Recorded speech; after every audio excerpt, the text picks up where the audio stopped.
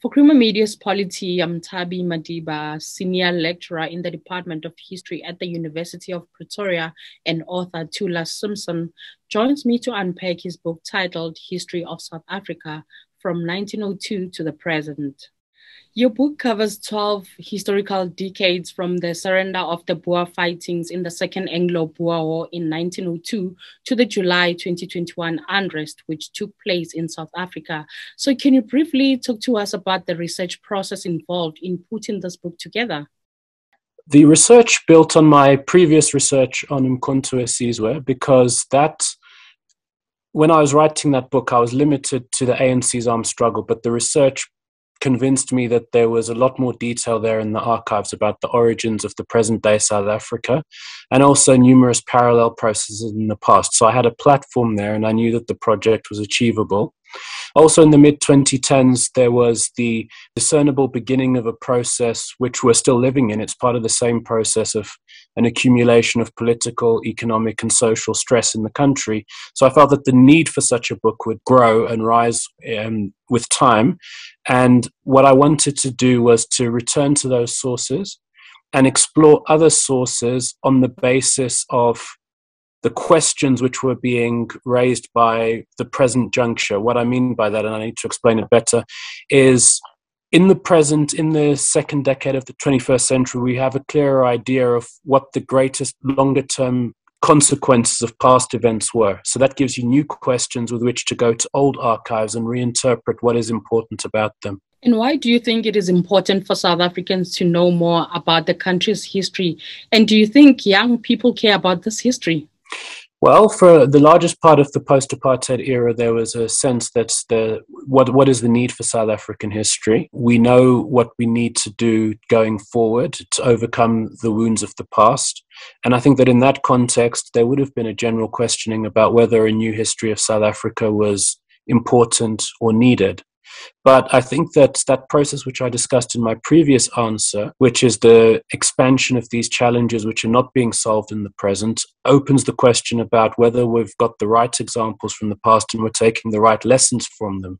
And that's what I was referring to in my previous answer with regards to these new questions with which to go to old archives and think about reinterpreting the past and coming up with a new synthesis. So I think what we've had demonstrated is in South Africa is that the countries know exception to a universal pattern, which is that there's no end of history. There's always new questions emerging and always the need for a reinterpretation of the past, what is important about the past, and which episodes we should look to. And you start your book from 1902. What is your view on the impact of the Second Anglo Boer War from 1899 to 1902 in the making of the modern South Africa? The uh, Anglo Boer War is the catalyst for a shift where South Africa, which for almost a century had been basically a geographical expression, it becomes a concrete name for a political entity. It's a colonial creation, not a nation at all, as some people will remind us, but it does become a single unit. And what I wanted to do is to describe the development of that unit, not just politically, but also socially, economically, culturally, over the decades that follow. And I wanted to explore the history of what we refer to as South Africa, which is the Republic of South Africa that we know and we live under to the present day. And there are some interesting points covered in your book, such as the history of the Jewish migration into South Africa in the early years of the 20th century and the 1930 Quota Act, which sought to deny Eastern European Jewish entry to the country. Can you tell us more about this? Yes, I mean, um, that was a perceived problem amongst the right wing National Party at the time, viewing the Jewish population as being a threat to South Africa. It shows how these interpretations can change over time. I mean, just a few years before that, it, there was the view of the Chinese as being a threat. Now, looking from the perspective of the 21st century, almost certainly these would have been very productive and valuable citizens. It's a sort of caution against excessive levels of xenophobia, which has been a perennial factor in South African history. In certain sources, there are re- references to South Africa being, in many respects, the most xenophobic uh, member anti-Semitic member of the um, what was known at the time as the uh, British Commonwealth. So there's an, an, attempt to keep the Jews out, to limit them. The discourse about Jewish migrants um, is very similar to uh, the discourse which was earlier used against the Chinese, but also to the present day is used against African migrants from the continent itself. And um, if you look at how the Jews of South Africa flourished subsequently, it's uh, interesting and important episode in a longer term uh, engagement that we've had in South Africa. And South Africa's turbulent history includes events such as the 1922 Rand Revolt, the 1950s Defiance Campaign, the Sharpeville Massacre in the early 1960s, the Soweto Uprising of the 1970s, and the Marikana Massacre of 2012. So, do you think South Africa is doomed to continue to have such bloodshed and conflict? I don't think so. I don't think that the bloodshed and conflict follows a similar pattern. I mean, there's some wars which were um, conflicts of colonization, others which were conflicts of liberation. So the axis always shifts. Yes, it has been a very violent history, but it's less violent in many ways than um, it was in the past and in comparison with other societies as well. So the focus will always shift and conflicts will always um, assume a different function in the society and there'll be new issues that will arise.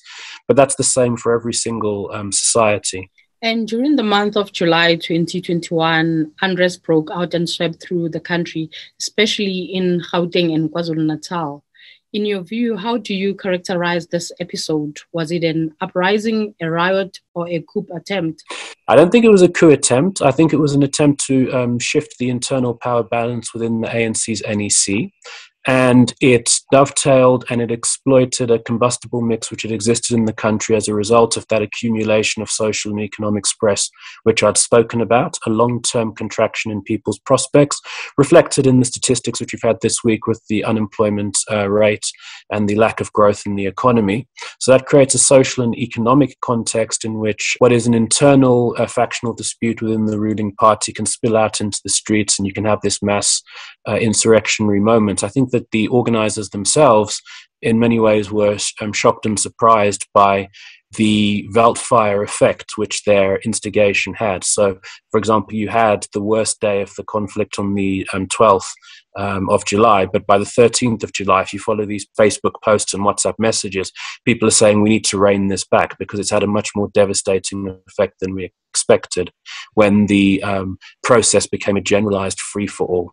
So while it wasn't a coup d'etat, I mean, you know, if you're going for a coup d'etat, there's choices you make about which direction you pursue? Do you go to the shopping mall or do you go to the center of administrative power? And people consistently went to the shopping mall. That was the way of affecting this internal power struggle.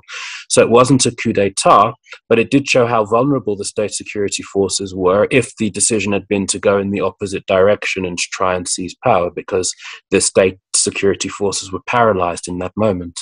And in South Africa, COVID 19 has exposed greed and corruption Comparing COVID 19 to the Spanish flu of a century ago and the AIDS pandemic in more recent years, what impact do you think the coronavirus pandemic will have on the country? I think that the um, course of those other pandemics was different in important ways. The um, second wave of the Spanish flu ripped through South Africa and it paralyzed the government's ability to respond. Uh, for the coronavirus, there was a certain buildup where the virus spread around the world, and there was possibilities to prepare a response and it's progressed over a much longer period of time with fortunately much less lethal consequences uh, in the short term. HIV AIDS is not as easily transmissible. In other words, you need to commit a conscious act in order to transmit the virus, and so that limits the capacity to spread. But in all of these, it shows that disease has the capacity to alter human history in profound and important ways, and that's an important message for us historians. For the largest part of the 20th century, I think, following on on in the aftermath of the Russian Revolution, the focus of South African historiography had been to trace the consequences of social and economic factors in history. Uh, that was the basis of the liberal and radical interpretations of South African history. But I think that what we've seen um, highlighted in an indisputable way as a result of the COVID 19 crisis is that um, uh, public health is a fundamental factor in shaping human society.